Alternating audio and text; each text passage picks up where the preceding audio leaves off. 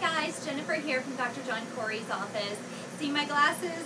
See my machine? We're doing Fraxel laser today. Just a quick demonstration to explain the procedure. From those Arizona sunspots that we get from being out in the sun, we can remove them with our fractionalized laser called Fraxel.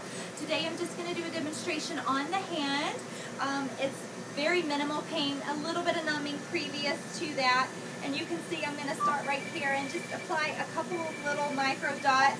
It's not fully ablated, it's sub-ablative, so you're going to just peel off some of those dead layers.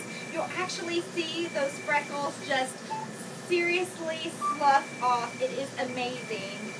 Any questions? I offer pre, um, free consultations. Give us a call.